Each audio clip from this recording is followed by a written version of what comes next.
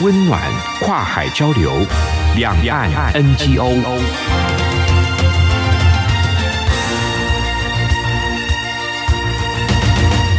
这里是中央广播电台台湾之音，听众朋友继续收听的节目《两岸 I N G》。有人形容孩童就像一张白纸，而他们将画出什么样的图像，涂上哪些色彩呢？我觉得啊，大人们的带领扮演着非常重要的角色。那么，在两岸文化交流的拼图当中，今天要借由太平洋搜狗百货、太平洋崇光文教基金会所搭建的桥梁，来看看两岸的儿童各自展现的何种样貌。我们非常高兴有这样的机会，邀请到基金会董事长黄清文来。跟我们分享，非常欢迎华董事长，您好。啊，丽姐你好，还有手机旁边的听众朋友，大家好。好，滚动着流行时尚的文化产业力量，你们分享给民间哦。就是在台湾哦，着力很多，大概有哪些的支持服务在民间所需要的窗口这边？嗯，呃，我们呃，搜狗百货呢支持两个基金会啊，我们成立了呃太平洋崇光文教基金会以及社会福利基金会啊。那么呃，一个是专门从事文化教育的相关活动，那么另外呢，在社会福利基金会方面呢，我们就是。是做很多弱势的关怀的活动。那么在文教这一块，我们有很多呃，像是童年纪事两岸儿童绘画比赛啦，或者是我们也办远东餐厨达人赛了，这也是一个两岸的一个比赛啊。那儿童绘画赛呢，呃，是在这个呃国小以下的小朋友。那么远东餐厨达人赛呢，它是在呃高中职的这个青年朋友，这些都是两岸的呃比赛，而且都非常的有口碑、有历史啊。那么另外，我们也做了在我们社会福利方面呢，我们也有。这个岁末公益好孩子的耶诞心愿，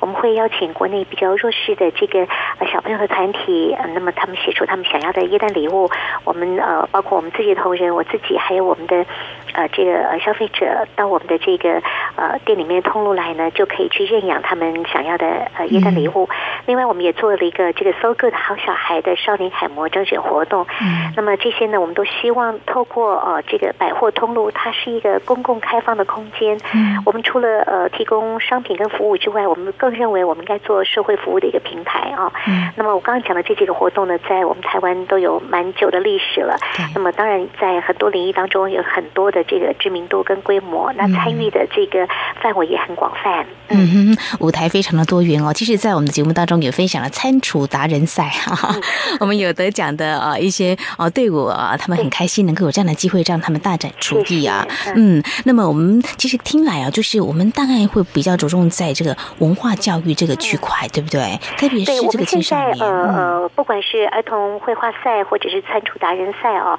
那么呃，我们都希望能够透过呃下一代他们一个知性与感性的一个交流，可以促进啊两岸的一个了解。同时呢，呃这些。比赛它不只是在比赛当时啊，激起了很多文化交流的一个火花。最主要，我们都留下了很多呃，这个整个比赛过程的一个记录啊。我想呃，对于这个呃下一代来讲，都是一个很好的一个学习的一个机会。我们也把我们形塑未来的权利啊，交到下一代的手中啊。那么其实引起的回响都很大。像我们的这个儿童绘画比赛，那么它目前呢，呃呃，这个是连接两岸规模最大、奖金最高的这个儿童绘。画创作平台，也是台湾民间啊唯一设有水墨组别的儿童证件比赛啊。因为我们深深的感觉说，其实文化的交流啊，我们必须要呃敬爱我们的根本啊。那么水墨在呃东方的这个绘画赛里面，它是一个呃很有历史，而且也最能够凸显这个创作精神的啊啊很简单的纯粹的创作精神的一个组别啊。所以我们把这个水墨组别特别留在我们这个两岸儿童绘画赛。里面，嗯，董事长提到这个儿童绘画，我们再来看，就是说，为什么当初会在多元的、多样的这个文化交流当中，认为这个绘画其实是可以让大家来彼此来挥洒嘛？对，可不可以谈谈？今年已经迈入到第十届的，前阵子才结束这个二零一四年的童年纪事两岸儿童绘画比赛。呃，我们这个绘画比赛哦，这个一路走来，我们也是不断的在这个学习当中，不断的去精进他呃比赛的方式啊。嗯。那么从最早开始啊，我们只是希望能够透过这个开放性的通路，让两岸的小朋友呢能够呃方便这个缴卷啊，同时呢也能够透过通路的这个呃巡回展览来扩大大家的交流。但是在我们呃开始呃一路这样走过来以后，我们加入了很多的元素，嗯包括呢呃最近这几年，我们特别呢这个成立这个两岸得奖的小朋友的一个互访啊，嗯那么透过这样的一个互访啊，那么也会有这他们共同创作的儿童绘画的作品跟绘本啊，所以我们现在每一年的这个绘本呢，也都透过两岸的许多通路啊。呃嗯，走进了这个千家万户里面哦。那在这边你可以看到两岸的小朋友，即使在同一个创作的主题下，嗯他们会展现呢非常不同的文化的一个背景啊。嗯那么，但是呃，相同的是都非常的活泼，也有这样子的一个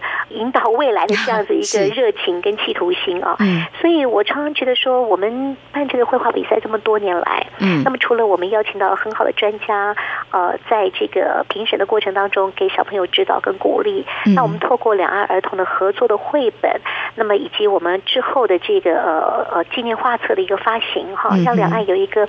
呃。纯真的美好的记录留下去哦嗯。更重要是，呃，其实我们在作为呃这个筹备并且办理比赛的过程当中，大人学到的很多。哦，怎么说？可不可以分享一下？像董事长，您觉得您每年都看到这么多优秀的作品，让你可能眼睛为之一亮啊？对嗯，其实我可以跟呃丽姐分享哦。嗯那呃，我们有一年是呃这个两岸的主题叫做“我的梦想嗯哼，”。那你可以看到哈呃，这个台湾的。孩子啊、是非常活泼、非常灵动的。他们的梦想哈，在社会的三百六十五行哈，行行呃出状元哦。嗯那我发现台湾是一个非常呃活泼呃这个有创意的一个环境，所以孩子们呃从基层服务啦、娱乐啦、文教啦、政治啦各方面，他们都有他们的企图心。哦，而在对岸的这个呃中国大陆那边的孩子们呢，他们的这个呃志愿哦，那么也是有很宏大的志愿，但是面向的大部分都是属于公众服务这一类的、哦。公共服务类的哈。哈所以就说你可以看到这个两岸的小朋友，他们都是有一个呃温柔的远大的心，但是呢他们对于自我的一个认知或从小立定的志向的方向哈，嗯很不一样嗯。那么呃，中国大陆他们是公共服务，但是台湾的小朋友似乎更有自己的一些想法。嗯就是人各有志，会展现自我未来的一个想法就对了。他未来想要做些什么？不过很有趣，说在今年好像呃的这个绘画比赛当中，特别有让两岸儿童共同创作一个纸板版画，呈现主题意象，是不是也可以跟我们分享一下？两对，岸因为今年嗯是十周年啊、嗯那么在呃十周年，我们我们有想过说，我们要用什么样的方式来跟小朋友共同来写下这个十周年回顾的一个记录哈。嗯所以后来我们觉得说，用这个版画，因为版画呃，丽姐你晓得，它的创作的过程是比较复杂的。嗯那么它除了要有呃最早的这个拓印的这个呃呃画作以外呢，那那中间有好几次要有这个拓印的一个过程啊。嗯那么呃，小朋友他们在要创作这一幅这个两岸十周年这个版画的过程当中，他们当然经过讨论哦。嗯然后呢，大家共同的想法就是，呃，要做我自己，要把我自己给画进去啊、哦所以在这个版画上面，我们看到了啊。那台湾的小朋友，呃，跟大陆的小朋友，他们都把自己的样貌以及对于自己未来的期许放进去了。嗯所以在这一幅两岸小朋友共同创作的，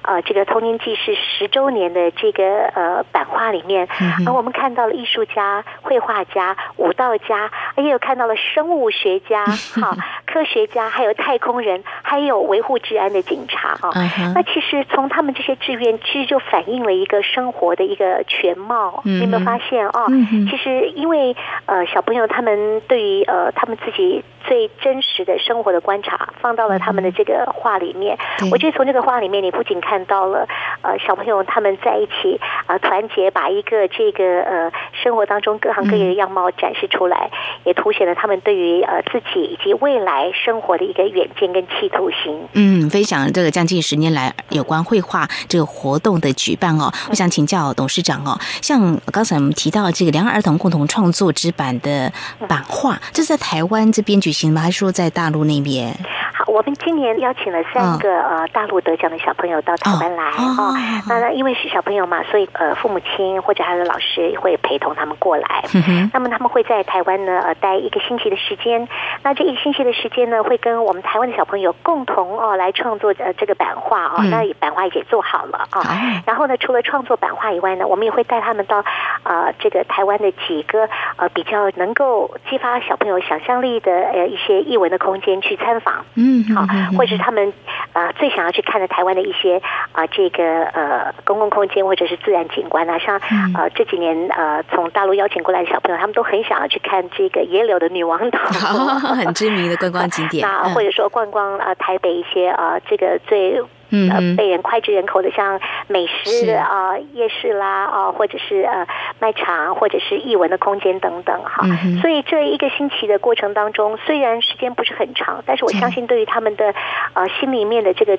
激荡是很大的哦。因为孩子们都是第一次来到台湾，他的亲身所见所闻，我想就会形塑到他的记忆里面。对于未来，我想。呃，这个两岸的交流会起到非常好的一个正面的作用。我常常在讲说，透过呃画笔哦，那么孩子们他们的尽情挥洒，其实他们就把对于未来的想望放在里面了。是。那么呃，大人经常也可以从孩子画笔里面可以看到孩子的天空其实是比我们更宽广的。我们相信，我们从小也是这样走过来的，所以有些梦想会慢慢修正。不过总是呢，呃，能够画出自己的想法，我们大人都觉得参与过程其中有。时候也会想到自己，当然也可以陪伴着孩子，呃，努力的帮他创造更多的可能哦。那像大陆的儿童可以过来，相信我们的孩子也有互访的机会嘛，哈。对，那我们现在主要是邀请呃大陆的小朋友过来，嗯，但是呢，因为你知道，呃，这个大陆小朋友他们平常。比较没有像我们台湾的小朋友有那么多的机会啊，哈，到各地去游览。所以目前为止呢，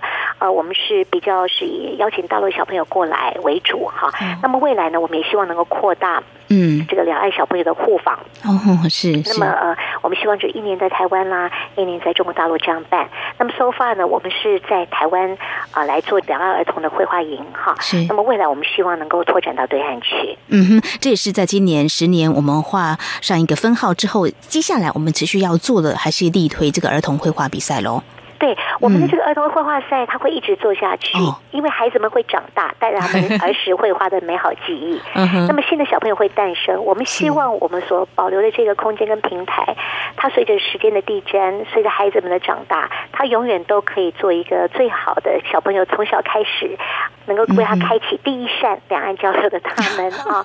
那么，另外，当然，我刚才讲到了这个我们的那个餐厨达人创新赛，我真的很希望我们有多一点时间可以讨论这个比赛，也是非常非常特别。我们也投出了非常多的心血跟心力，它也是国内呃到目前为止在这个呃餐厨赛里面规格最高。那么每一年我们都送冠军的队伍到这个香格里拉学院啊，那么跟来自世界各地的专业经理人共同学习一个月啊。那你想看对？这些年轻的孩子们，他们呃，在餐饮这个部分，他们就希望能够走向世界的舞台哈。所以，其实对他们来讲，最大的激励不仅是国内最高额的奖金，对，而是那个有一个月到广州的香格里拉学院去跟来自世界各地的第一流的餐饮的经理人共同上课的那个机会。所以，我们呃，其实呃，在我们在思考我们举办了很多的活动，呃，文化跟教育怎么样扎根的时候，我们都希望想到了。并不是说它的规模要做到最大啊，因为我们当时也没有想到说，后来我们真的都成为国内大家都给我们很多的肯定跟鼓励哈。比方说像我们餐厨赛，那呃业界给了我们一个称誉，说是餐厨界的奥斯卡。没错。那我想最主要是我们在做的时候，我们想到的是我们的梦有多大啊，我们要发挥的这个力量就要有多大，就可以有多大。那呃，我们希望这个比赛最大的意义是可以用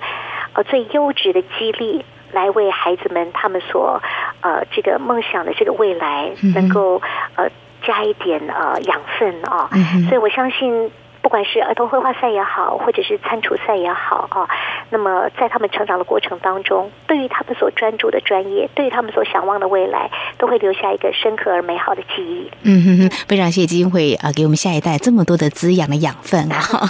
谢谢。我们看到你们是呃成长茁壮啊，今天非常感谢我们太平洋崇光文教基金会董事长黄清文来告诉我们基金会如何透过两岸小朋友的画笔来彩绘他们的天空，而有非常动人的交流哈。我们期待有。有更多的机会，让更多的啊小朋友们能够相见欢。非常谢谢董事长，谢谢您。好，谢谢，好，再见，好，拜拜。